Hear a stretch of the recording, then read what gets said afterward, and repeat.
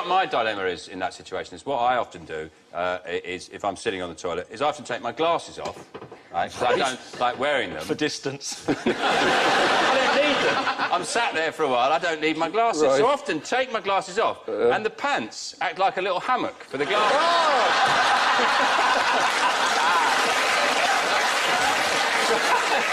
it, gets, it gets worse, because what if I put them in there?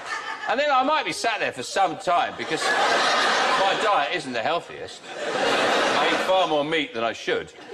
And then some, so I might have sat there for 10 or 15 minutes. And then, when I stand up finished, I stand up to pull my trousers up. I forget about my glasses. Oh, And I go, oh, my glasses. And I've rammed my glasses deep into my under regions. no! Whoa.